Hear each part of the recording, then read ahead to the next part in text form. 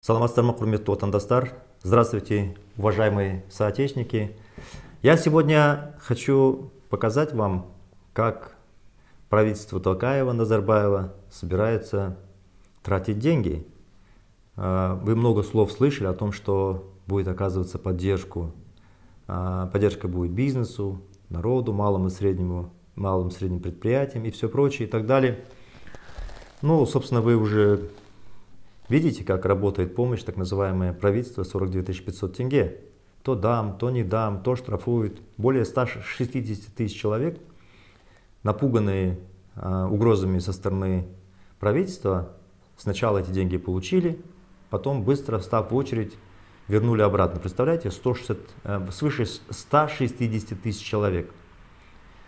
Вот, собственно, это реальная помощь так называемая. И сейчас такая заявляет, что больше 4 миллионов человек получило. При этом а, ранее говорилось, что этой помощь получит более 3-3,5 миллиона человек. Сейчас говорится о количестве более 4,5 миллионов человек.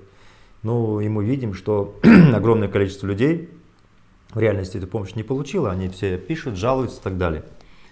Поэтому э, реально, как помогает эта власть, мы уже убедились и будет ли. Теперь смотрите, я, честно говоря, анализировал список 361 э, предприятия. И знаете как, э, такое впечатление, что эта власть как бы забила на народ полностью, абсолютно. То есть они ничего не боятся, это просто поразительно.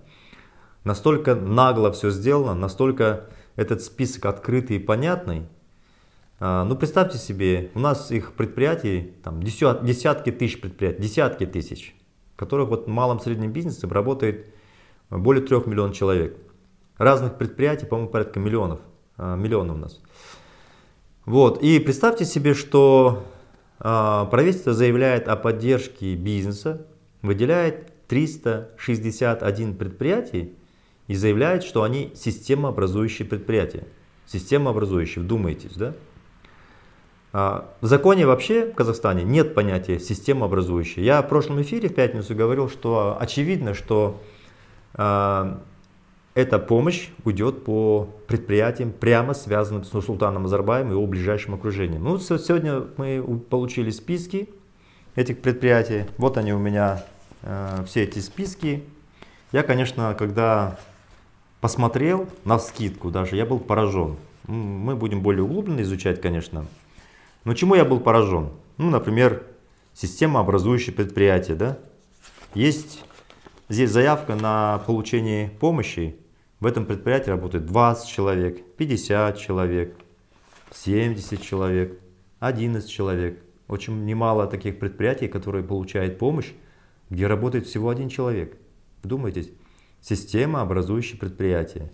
Далее, здесь есть а, Графа, так называемый учредитель. Название компании учредитель. Как правило, кто владелец этих компаний неизвестен. То есть берутся юридические лица Казахстана, показывается, что они якобы учредители. И в этих компаниях, как правило, сидят владельцы некие офшорной компании. То есть вы понимаете, да? Эти деньги налогоплательщиков Казахстана выдаются непонятным лицам, непонятно на каком основании – ну, как бы непонятно. Я теперь -то просто получил подтверждение. Вот, и миллиарды долларов просто опять сливаются. Если раньше Назарбаев просто заливал в банки, вы помните его трюк, когда в Каском залили 8 миллиардов долларов, и формальным владельцем был Кенес Ракишев, а на самом деле Кенес Ракишев владел вместе с племянником Нурсултана Назарбаева. То есть Кенес Ракишев был такое подставное лицо. Ну и понятно, что Хайрат Сатабалды, племянник Назарбаев, тоже был подставным лицом. В реальности Каском был отнят у бывших владельцев э, Каскома, которые реально построили этот банк. А потом объявляется, что Каском он плохой, убыточный, и Кенис Ракишев отдает его, э, после того, как в этот банк государство влило 8 миллиардов долларов, за 2 тенге приобретает этот банк Тимур Кулебаев. То есть вы помните, каждый год в 2017 году, до этого, каждый год из национального фонда, из бюджета страны вливались в среднем минимум по 10 миллиардов долларов в банковскую систему страны. Или вспомните Цеснобанк, Э, сейчас он переименовался, туда влили порядка 4 миллиардов долларов, а затем бесплатно его забрал, опять же, Назарбаев через свою подставную компанию. Вот раньше, как он это делал. Теперь, после того, как я методично выступаю, рассказываю, что каждый год он сливает э, государственные деньги под видом помощи банковской системе, он сливает деньги из нацфонда. Теперь, значит, применяется другой трюк – берутся якобы 360 с чем-то компаний, дается им помощь, и также деньги пропадают в неизвестном направлении. Потому что, ну, вы сами видите, э, когда вы список опубликован, увидите, что есть предприятия, где и 100 человек, есть и тысячи, правда, есть 12, есть 2 человека, вот, и есть один человек. Ну, что это за система образующие предприятие? У нас там маленькие кафешки, там человек 300 работает, но что-то я их в списке не вижу, что они системообразующие, чтобы в, ним, а, в них вливали миллиарды, миллиарды тенге.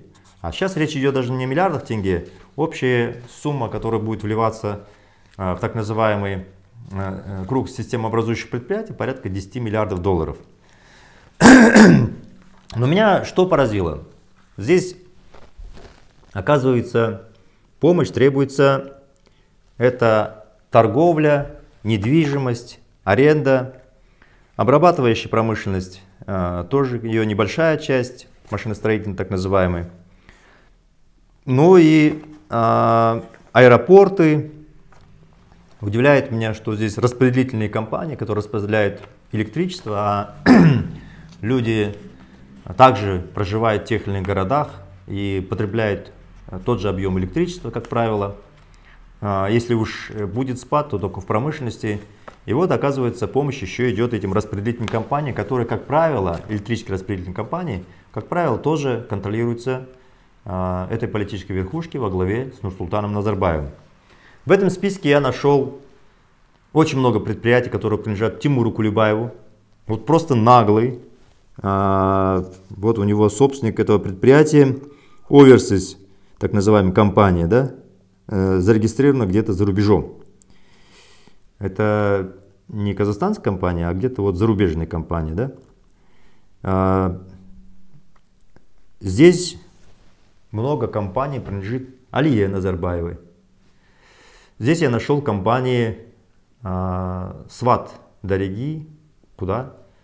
Хайрата Бурамбаева, а, который тоже здесь в этом списке, который получит так называемую помощь.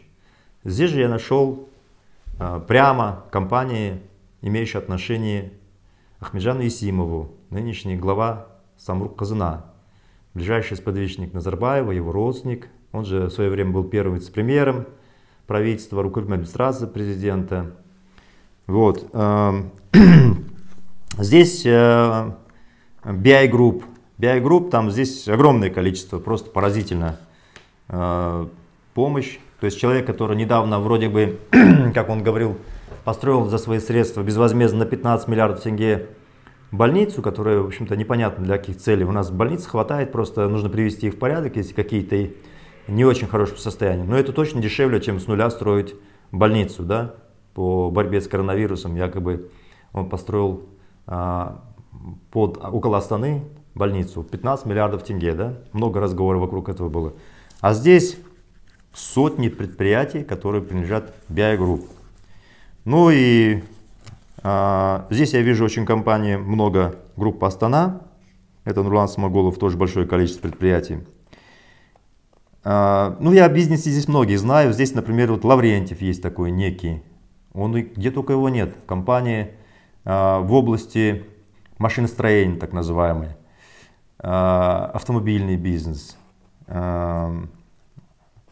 Есть здесь прямо эти компании, когда вы слышите фамилию Алюр, зайдите в Forbes. Это все люди, которые в Forbes, абсолютно все. Что я хотел по этому поводу сказать?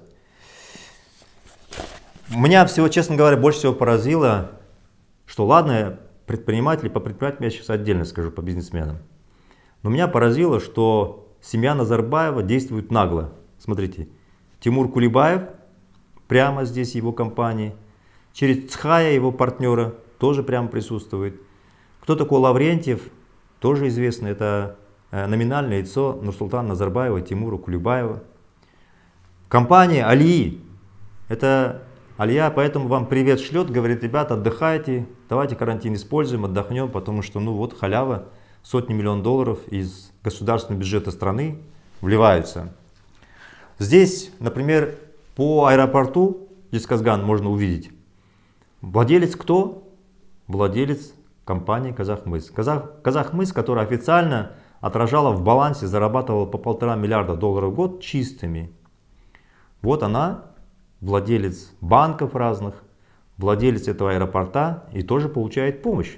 Просто поразительно. Ну и удивительно, что как нагло действует дочь Назарбаева, а, его семья, Алия в частности. А, потом, смотрите, аэропорт. Аэропорт Алматы тоже просит помощь, да?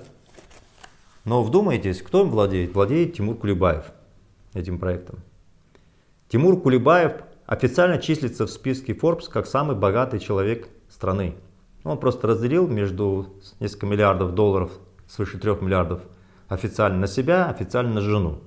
Их складываешь, они там за 7 миллиардов только официально. То есть, а Владимир Ким, Казахмыс, это предприятие Нурсултана Назарбаева, он номинал. То есть фактически берешь список Forbes, самые богатые люди страны получают сотни миллионов долларов из бюджета страны. Вы можете себе представить? То есть я когда этот список смотрел, думаю, ну это не просто плюнули в лицо народу Казахстана, а просто плюнули, догонку еще кинули камень, дали пинок и сказали пошел вон. То есть забили на всю нашу страну. И, наверное, раз они так действуют открыто и нагло, наверное, мы это заслужили. Ну как это? Сейчас в стране народ обозлен, держит на карантине. Идут апелляции в сторону Такаева, Назарбаеву. Дочь Нурсултана Назарбаева, Дарига, представитель Сената, они заявляют и якобы проявляют заботу о народе, а тут из-под носа просто миллиарды долларов закатываются в бизнес членов семьи. Я вам следующее скажу. В этом списке нет вообще никого, который бы не имел отношения к Назарбаеву и близкому окружению Султана Назарбаева. Вообще никого. То есть, здесь просто берешь каждую компанию, смотришь, здесь Булат Назарбаев, его здесь куча его компаний присутствует, Алия, Тимур Кулебаев, вся политическая верхушка. По бизнесу, значит, следующая картина. Я по этому поводу комментировал мое отношение к бизнесу. Дело в том, что в нашей стране все более-менее крупные бизнесмены, как только они вырастают, на каком-то этапе их подбирают и требуют отдать долю. Ну, как правило, 50%. Ну, вы знаете мою историю, когда Назарбаев требовал отдать долю в банки, вообще во всех моих бизнесах, которые есть по всему миру. Ну, например, он у меня был в России, складской комплекс. А, ну, он был самый крупный в России и самый крупный, наверное, в Европе тот момент был. Я ему говорю, а, когда он приехал, а, что вот мы открытие делаем, хотите приезжайте. Он говорит, ты же мне долю не даешь? я не приеду. Ну хорошо, не хочешь, не надо. Так вот, этот бизнес, наш крупный, он весь лежит под политической верхушкой Назарбаева. Или через Тимура Кулебаева, или через, через Булат Назарбаева, или через Булатова Тимуратова, или через Есимова. Весь этот крупный бизнес, он находится под контролем Нурсултана Назарбаева, чтобы вы понимали. Когда вы видите там огромные объекты, которые строятся по стране, вы же знаете, вы маленькое предприятие, кафешку открываете, к вам прибегает полиция, санэпидемстанция и там все прочее, житья не дают. Ну а эти крупные компании, чтобы стать крупными, должны понимать, что их столько раз подсекает, что они в какой-то момент для себя решают. Или избрать путь Мухтара Блязова, когда тебя раздолбают, или согласиться отдать 50% и как бы делиться, что называется. Вот. И основная часть, ну практически все, на это соглашаются. И вот в этом списке все люди, которые приняли правила игры этой системы. Они там что-то строят, продают, торгуют, автомобили, машиностроение и все прочее. Это все люди, люди, которые, а, помимо членов семьи, имеется в виду они работают в доле с режимом Нурсултана Назарбаева. Я их не хочу никого упрекать, я просто вам констатирую, что наш бизнес, многих я знаю, я, кстати говоря, вот Айдан Рахимбаев, я знаю, что при таких масштабах, ну, я с ним был знаком а, в восьмом году, тогда он только-только быстро двигался, такой энергичный бизнесмен, ну, был подмят. Понятно, что для, такого, для, такого, чтобы, для того, чтобы развернуть такой бизнес, ты должен отдавать долю. Тогда тебе подтягивает под проекты, контракты все прочее. Я видел такой энергичный парень. Вот. Ну, все, что называется, его подмяли. Вот. Это удел более-менее всех способных бизнесменов страны. Ну, вот Нурлан Смогулов тоже был моим партнером, моим младшим партнером был Астана Моторс, Астана Групп. Это которая, компания, которую я создавал вместе с ним и с другими партнерами в начале 90-х годов. Я был старшим акционером. А, там еще других я вижу, которые тоже когда-то работали у меня в бизнесе, их отобрал потом, когда меня первый раз посадили в тюрьму в 2002 году. А, их перетащил к себе Тимур Кулюбаев, потом они перебежали, а, не знаю, в результате чего-либо, Булат Назарбаев. Я их тоже в списке вижу. Поэтому это отдельный класс бизнесменов. И э, получается следующая ситуация.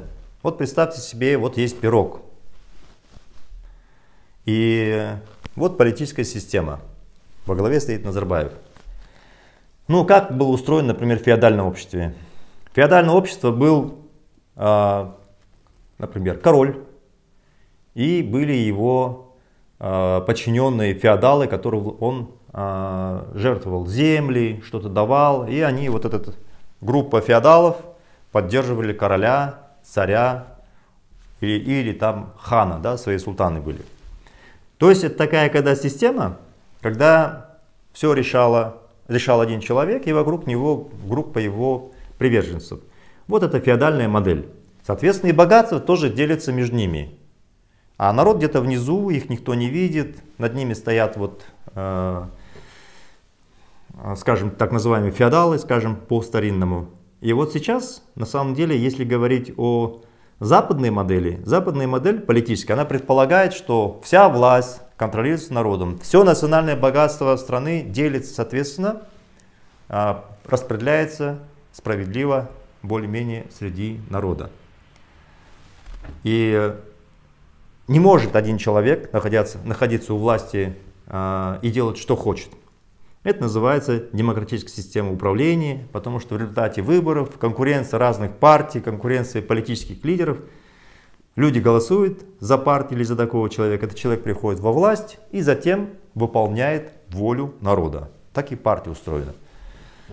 Как выглядит так называемая автократическая, диктаторская, или хотите, как хотите, можно сказать и феодальная.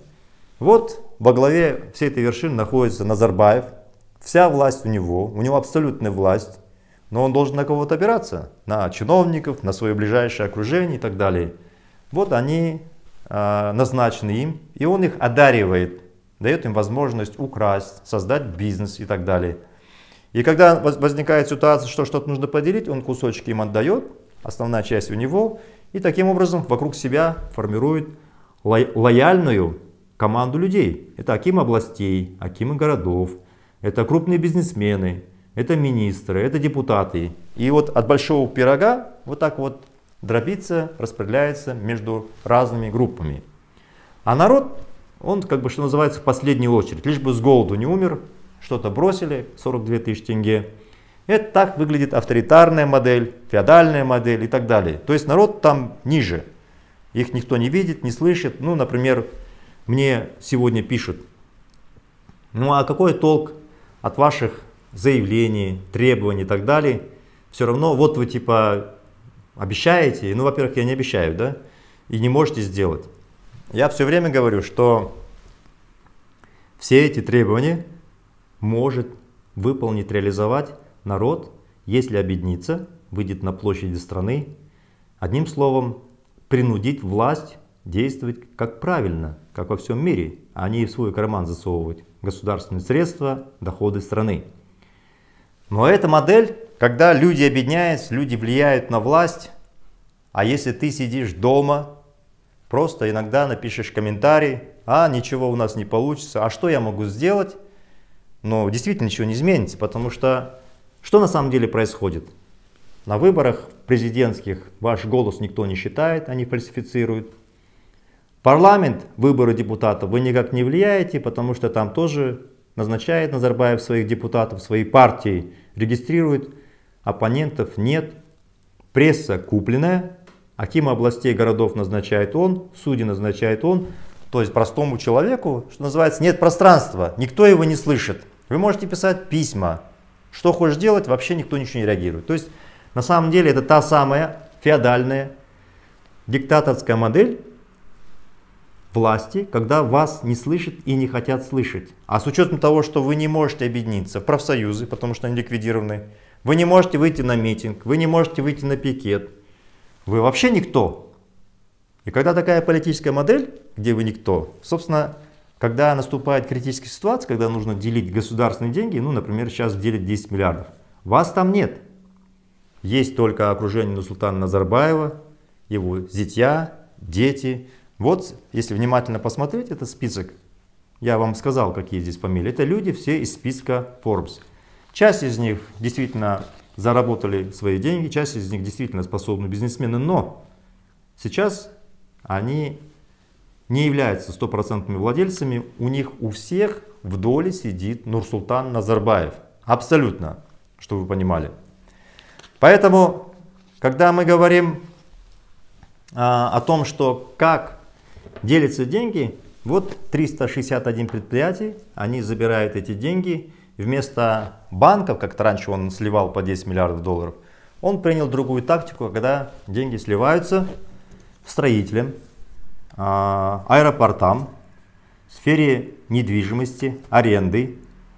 А, по строительству очень много. Ну, спрашивается, кому собрался тот же самый Айдын продать недвижимость? Если у людей денег нет, сейчас кризис, что называется, только на продовольствие люди. Ну хорошо, они построят, и это будут стоять гигантские объекты, которые никому не нужны, потому что их никто не купит. Понимаете? То есть эта модель, она и для них плохая, и для людей плохая. Я вот вам скажу следующее. В этом списке, например, что вы когда будете смотреть списки, смотрите, есть компания э, товарищ с ограниченной ответственностью Меркурти Пропитис. Вот смотрите, она получает помощь. Это предприятие Тимура Кулебаева. Я вам сейчас скажу. У этой компании коммерческой недвижимости более 800 тысяч квадратных метров. Я вот здесь зашел, заглянул, смотрите. 39 объектов коммерческой недвижимости, бизнес-центры в Алмате, в Астане, Атрау, Ахтубе, Ахтау, Шимкенте, Дубае, в Дубае. И я вам могу сказать, вот 90% торгового там развлекательного центра форум Алматы, это принадлежит Тимуру Кулебаеву. А, бизнес-центр Лукойл, 70% доли принадлежит а, в Астане Кулебаеву. Бизнес-центр Кайнар в Шимкенте. Вот представьте, Люди, которые миллиардеры, родственники Назарбаева, нагло приходят, подают списки, и их подставные лица типа Лаврентьева или а, Казахмыс, а, или тот же самый Айдын Рахимбаев, который реально там очевидно, что там минимум половины доли контролирует Нурсултан Назарбаев, или тот же самый Нурлан Смагулов, автомобильный бизнес. Кому ты продашь Нурлан автомашины? у тебя покупателя не будет. А, они все получают помощь. Я скажу так, я не случайно говорю про политическую модель. Видите, здесь, если это говорить, не знать бы, кто за этим стоит, просто были бы компании. Здесь можно было сказать следующее, что есть власть, есть около власти люди, вот они каким-то образом влияют на власть и что-то получают. И это, в принципе, нормальное состояние, когда кто-то работает, колотится и называется, добивается результата. Но плохо, что в этой ситуации нет народа внизу. А почему нет народа? Потому что народ молчит. До тех пор, пока народ будет молчать, вот эти миллиарды долларов будут растекаться по другим карманам. Здесь упрекать можно только Нурсултан Назарбаева, Касмжамар Такаева, эту политическую верхушку. Остальных смысла нет упрекать. Они, может, там бизнесмены, еще кто-то, там разные люди, да? Их смысла нет упрекать, потому что они влияют, они борются. Здесь нужно упрекать второе, сам народ. Если народ спит, если народ не действует, если народ не объединяется, то спрашивается, а как, а как вы хотели? Какой вы хотели получить результат? Поэтому вот я, к сожалению, сегодня могу констатировать, что действующая политическая верхушка, она ничего не боится. Вот ей просто плевать. Вы с голоду, что называется, помрете миллионами, им плевать. Плевать это видно, что в этом списке они могли скрыться, не показывать. Они открыто нагло ставят свои офшорные компании. Открыто и нагло заявляется, что это якобы система образующих предприятий, в которых работают 15, 20, 30, там вообще нет такого понятия система образующих предприятий. Я понимаю, градообразующие предприятия, если бы еще в законодательстве забили бы в закон, что это такое. Ну как Жанаузен, например, да? Когда фактически те предприятия вокруг города, которые сосредоточены, если они прекращают работать, город гибнет. Или Степногорский, там, например, есть предприятия, там, если они перестанут работать, то город гибнут, гибнет, и людям нужно туда уезжать, все бросать. Но система образующие предприятия, где работает 10, 15, 1 человек и так далее, и они нагло об этом пишут, это говорит о том, что эта власть просто забила полностью на свой народ. Я в пятницу озвучивал наши требования. Я хотел бы их сейчас озвучить и пояснить, почему нам нужно действовать в этом направлении. Итак, первое требование – это пакет требований ДВК в размере суммарно 10 миллиардов долларов. Я в пятницу озвучивал, говорил, что если эти средства распределить именно по этой модели, и бизнесу будет хорошо, любому, в том числе, который вот здесь находится, в этом списке, в том числе так называемым проназарбаевским. И банкам будет нормально, и люди получат доход. То есть на самом деле эта модель приводит к тому, что всем будет лучше, в том числе даже назарбаевским предприятиям. Та модель, когда они сейчас миллиард долларов вливают сюда, она ничего не даст. Они просто через несколько месяцев придут за очередным траншем. Это будет просто деньги на ветер. Ну, там они его еще украдут. А, особенно вот семья Назарбаева, как Кулебаев, миллиардер, сотни миллионов долларов сейчас просит у государства. То есть, понимаете, они как бы жертвуют. Помните, недавно они создали фонд Бригемс, там собрали 41 миллион долларов, и эти же люди теперь сотни миллионов долларов выгребают по схеме поддержки государства через свои предприятия. Сотни миллионов долларов, миллиарды вытаскивают. Понимаете, они там с той стороны типа мы пожертвовали, а с другой стороны миллиарды крадут. И я сейчас говорю о модели, которая реально поможет всем, всей стране. Но что нужно для того, чтобы действительно это реализовалось? Не просто мои слова, не просто обращение, а действия. Как мы будем действовать, я сейчас озвучу. Я регулярно об этом говорю, но есть смысл еще раз повторить. Итак, что мы говорим? Сейчас ситуация после того, что, а, после того, как народ выйдет а, из карантина, будет плохая, она уже сейчас плохая. У вас нет средств на дальнейшее проживание. Многие уже потеряли работу. Малые и средние предприятия, как минимум половина закроется. Банки в ближайшие 2-3 месяца будут не в состоянии возвратить ваши депозиты. Включая банки не, вернут, не вернут средства пенсионным фондам многим. То есть здесь будет потеряны и рабочие места, и кризис будет везде. Что нужно сделать? Надо, чтобы, по сути дела, в течение определенного срока, в течение 4 месяцев, люди получили некую подушку, за это время перестроились как экономика, так и граждане. Это достаточное время для того, чтобы перестроиться. Перестроиться, развить какие-то другие отрасли. Значит, средства нужно так финансировать, чтобы это повлияло, помогло всем, во-первых. Во-вторых, какие-то отрасли, чтобы они получили импульс и стали лучше развиваться. Ну, в частности, я говорил по аграрному сектору. Итак, Какое наше требование? Первое. Мы говорим, что каждому гражданину Казахстана или это очень важный момент, который я сейчас говорю. Э, тем людям, которые имеют статус, вид на жительство, есть у нас немало людей, которые приехали в Казахстан, не имеют ни гражданства, ничего, но у них есть статус, вид на жительство. Они работают внутри страны с этим статусом. И есть у нас немало людей, которые приехали, как мы раньше их называли, оралманы, из Китая, из Туркмении, Узбекистана, из Турции и так далее. Есть немало людей, но я точно цифру, к сожалению, не знаю, сколько из них реально получили гражданство, но мне говорят, что по разным источникам, что якобы около 400 тысяч человек бродят, не могут получить полный статус, то есть именно гражданство. Так вот, мы говорим, что все граждане страны, включая младенцев, те граждан, которые имеют статус вид на жительство, или те, которые находятся в состоянии получения гражданства, должны получить по 50 тысяч тенге ежемесячно, начиная с 1 мая до конца августа, то есть 4 месяца. Тогда семья из 5 человек получит 250 тысяч тенге, каждому из по 50 тысяч. Получат пенсионеры, если у вас пенсия 60-70 тысяч тенге, вы сверху получаете по 50 тысяч тенге. В нашей стране 2 миллиона 225 тысяч пенсионеров. Получат инвалиды, которые получают пособия небольшие, тоже получат по 50 тысяч тенге. Получат студенты, одним словом получат все. И эти деньги будут двигаться по всей стране. Не как сейчас основные доходы, высокие зарплаты считаются в Астане, в Алмате и западной части Казахстана, где добывается нефть. Эти деньги перераспределяться уйдут, уйдут во все регионы страны, и в большей степени уйдут в аграрный, в аграрную часть, уйдут в села.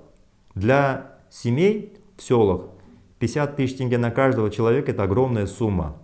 По официальной статистике у нас считается работающий человек якобы получает 200 тысяч тенге. Каким образом?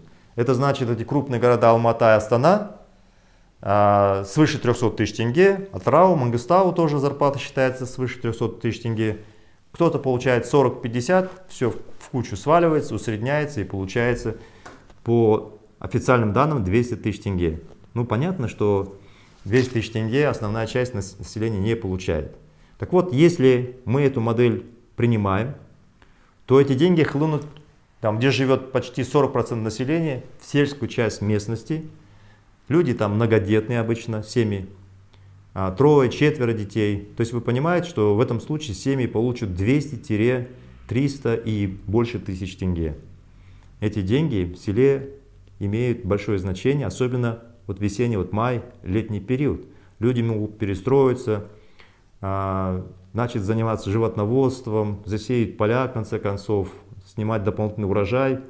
И это очень сильно поможет именно сейчас, потому что в мире говорят еще о возможном продовольственном кризисе. И вот мы таким образом перераспределяем денежные средства по всей стране.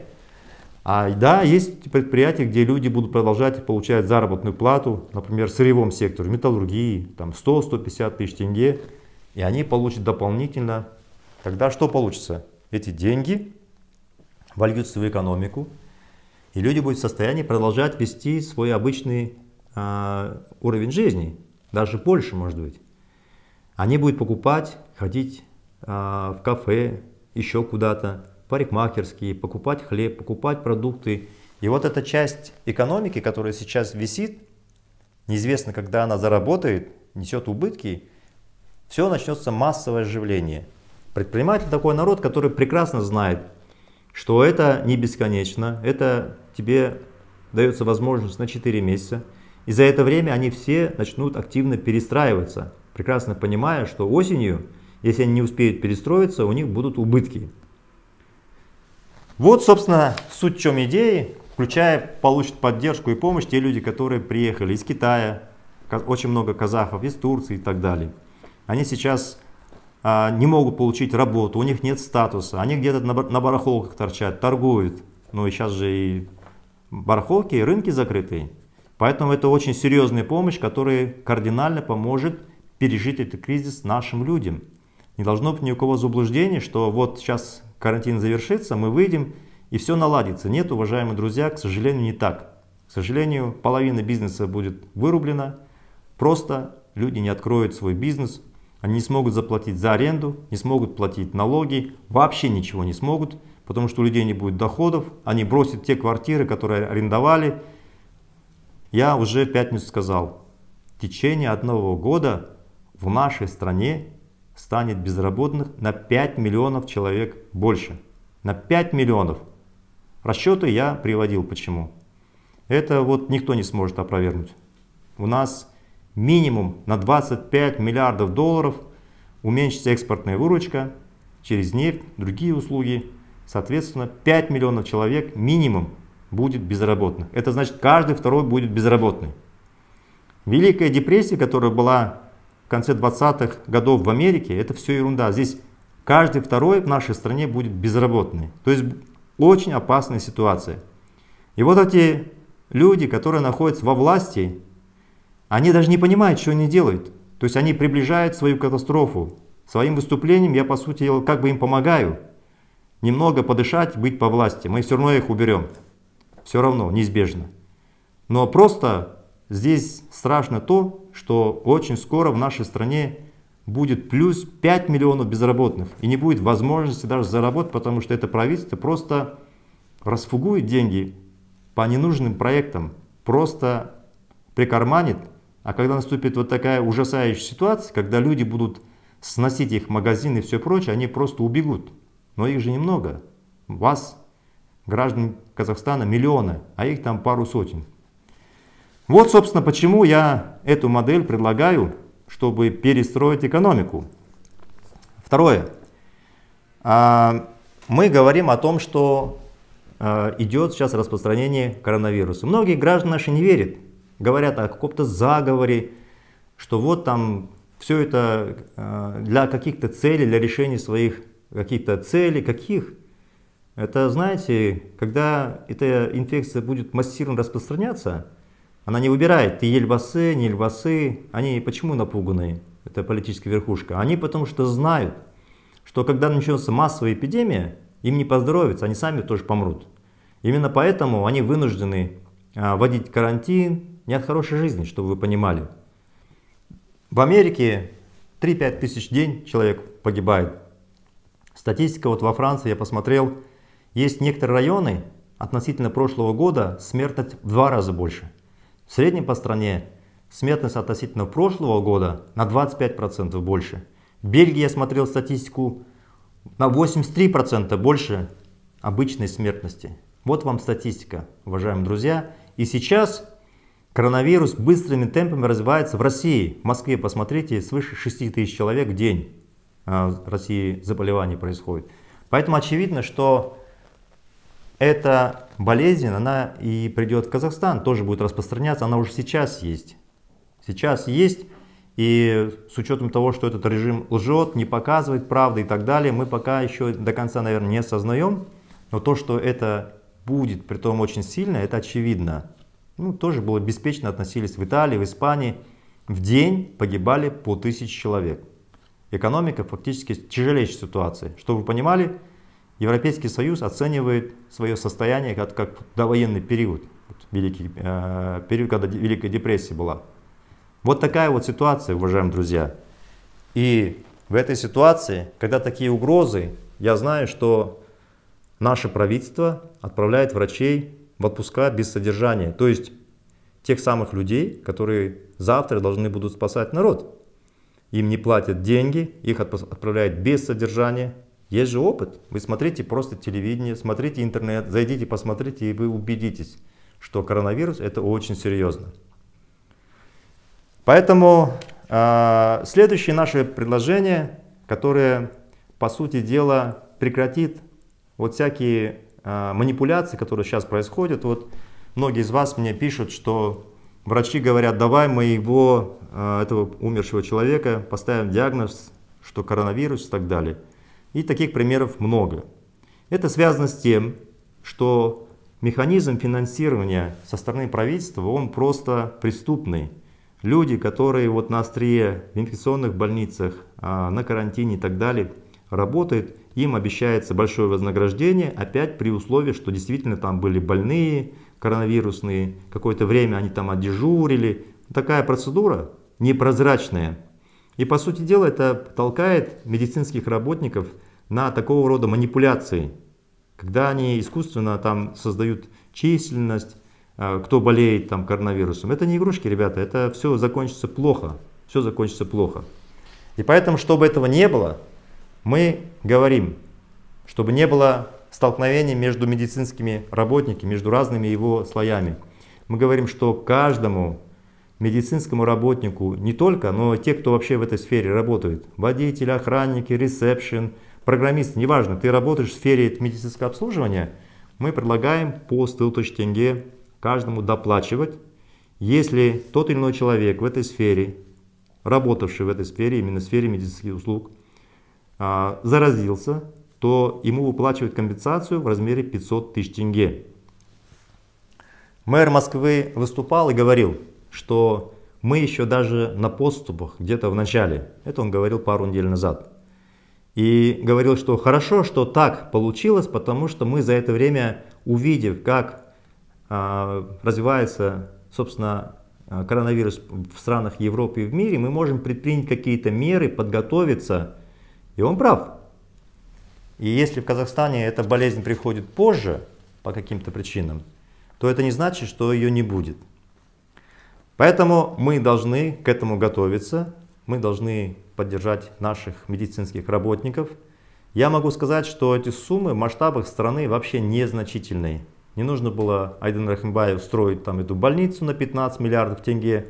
Это все вот э, надо было направлять сюда. И сейчас не поздно. Это что касается э, работников здравоохранения. Теперь что мы говорим? Мы говорим то, что реально сейчас остановит развал банковской системы, и Назарбаев все равно будет вынужден туда бросить как минимум 10-25 миллиардов в ближайшие полгода. Долларов, не тенге, долларов. В Национальном фонде они говорят, что у них порядка там якобы 57 миллиардов долларов, ну сейчас меньше. И вот представьте себе, что половину из них придется отдать на спасение банковской системы. Между прочим, она частная. Назарбаевская частная. Тут придется государственные деньги вливать, и вы же понимаете, собственность не перейдет государству. То есть мы похороним там еще половину национального фонда страны. Половину. Это то, что принадлежит всем гражданам страны, между прочим. Поэтому мы должны найти оптимальный способ, чтобы и банки не разорились, и чтобы помощь была прямая людям, Раньше же помните, когда 10 миллиардов садили, собственность переходит владельцу, представителю Назарбаева, а вас коллекторы долбят, отбирают квартиры, последнее жилье и так далее и все прочее. То есть вы реально не получали прямую помощь. Та модель, о которой мы сейчас говорим, я ее посчитал в конкретных деньгах. Эти деньги укладываются в те самые 10 миллиардов долларов. Абсолютно все легко. Мы предлагаем следующее, чтобы проценты ваши по проценту по кредитам. 7,5 миллиона человек. 7,5 миллиона человек имеет кредиты, минимум 7,5. Чтобы эти проценты за наших граждан заплатило государство. Не основную сумму, не полное списание. Это программа ДВК. Проценты май по август, 4 месяца. Если правительство списывает гражданам облегчение, банки не показывают, что они убыток, они не разоряются. Понимаете? Сейчас же такая что говорит? Банки войдите в положение. Я объяснял, почему они не могут. Потому что тогда они должны не заплатить проценты своим вкладчикам, если они здесь спишут проценты. Если они отсрочат эти проценты, вам от этого легче не станет. Все равно вам нужно будет через несколько месяцев в два раза больше заплатить. А здесь правительство платит ваши проценты в течение четырех месяцев и вы за это время опять же перестраиваетесь. Вам не нужно те доходы, которые сейчас у вас мизерные появляются, отдавать последнее, что называется, банкам за эти кредиты. Далее, теперь о бизнесе. Вот э, та помощь, которая сейчас делает Назарбаев, это фактически миллиарды долларов сливается в карман, в конечном этой политической верхушки. Потом нагло сливается. Но Национальное богатство страны принадлежит всем гражданам страны, всем, не только этой политической верхушке. Поэтому мы говорим, что правительство должно погасить все проценты предприятий, которые есть в нашей стране. Это, кстати, несложно делается, и у них есть кредитные обязательства у этих предприятий. Правительство просто так же, как физическим лицам, гасит проценты с 1 мая по 1 сентября, до 1 сентября за 4 месяца. Опять предприятиям становится легче. То есть у них все их обязательства перед банками гасит государство. Эти предприятия на плаву, а суммы там огромные, потому что у кого-то там сумма меньше займа, у другого больше, крупные предприятия по 50 миллионов долларов, по 100 миллионов долларов. И вот представьте, вот такие крупные суммы заплатит государство, и опять же предприятие на плаву, у людей есть деньги, завтра вот эти строительные компании могут продавать свои квартиры, потому что их клиент не обанкротился, потому что государство помогло. Вот тогда действительно это помощь всему бизнесу, а не узкой группе проназарбаевского бизнеса, не узкой группе. Тогда и банки не нужно тратить 20-25 миллиардов, потому что правительство погасило их проценты и все прочее. Бизнес за это время перестроится, люди сформируют свои доходы, и в течение 4 месяцев до осени все проценты по банкам гасит правительство и банки на плаву. Нормально стоят, клиенты нормальные, клиенты получили деньги. В будущем, в сентябре, в октябре они в состоянии оплачивать свои другие расходы. И текущий малый и средний бизнес тоже восстанавливается. Но все знают, что это помощь сроком на 4 месяца, что за это время надо перестроиться. Вот, а, теперь дальше. Очень важный момент – это топливо, дизельное топливо, бензин. Я уже говорил, что цены на нефть упали минимум в 6 раз, минимум. И, конечно же, главный э, владелец этого рынка, Тимур Кулюбаев, он просто обязан снизить цены в два раза, минимум в два раза. То есть, когда говорится, что дизельное топливо аграрникам будет отдаваться по 165 тенге, это как такая, знаете, такая супер помощь, не нужно никакой помощи. Нужно просто, чтобы Тимур Кулебаев снизил цены на бензин, на дизельное топливо в два раза, и будет тогда 80 тенге стоить дизельное топливо. Вот его реальная цена, она даже ниже, чтобы мы понимали, она ниже, понимаете?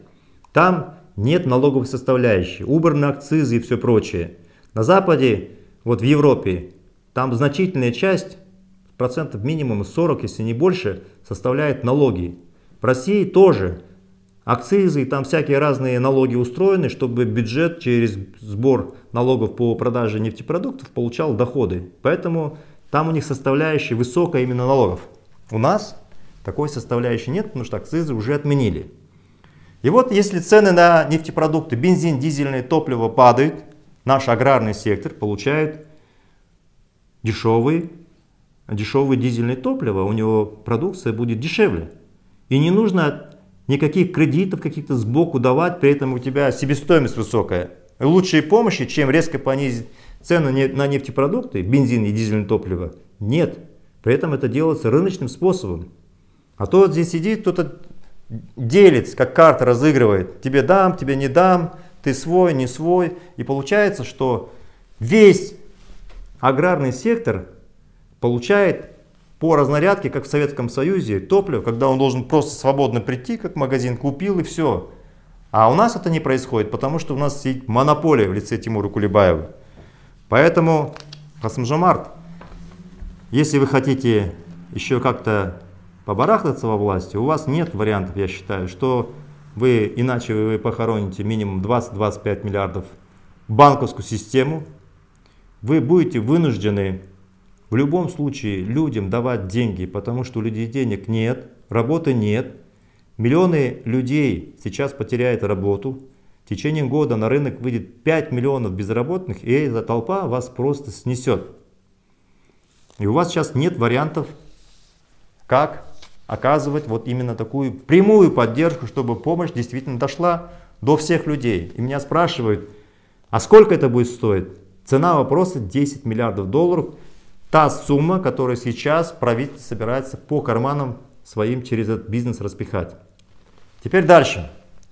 Какой механизм, как добиться, чтобы правительство все-таки выполнило наши требования? Мы выдвигали свои требования, вы знаете, что правительство начало хоть как-то выплачивать 42 тысячи тенге. Больше на постсоветском пространстве нигде не платится. Это только платится в европейских странах, в Америке, в ведущих странах мира. Почему не платится? Потому что было организовано давление, но недостаточное. Чтобы сильное давление организовать, мы предложили механизм. На митинги вы не можете выходить. Акимов не можете выбирать, президента не можете выбирать, пресса вас не слышит, вообще никто не слышит. Мы создали чат «Безработные и бедные». Что такое бедный? Это значит, когда ваш доход, допустим, на семью из четырех человек составляет менее 300 тысяч тенге. А основная часть населения так и есть. То есть основная часть у нас населения бедные. Поэтому регистрируйтесь в этот чат. Безработных сейчас несколько миллионов человек уже есть. Так называемые самозанятые. Регистрируйтесь в этот чат Telegram, заходите. Сначала зайдите, создайте мессенджер, зайдите, получите, скачайте мессенджер Telegram. Затем найдите чат «Безработные и бедные». Что мы будем делать?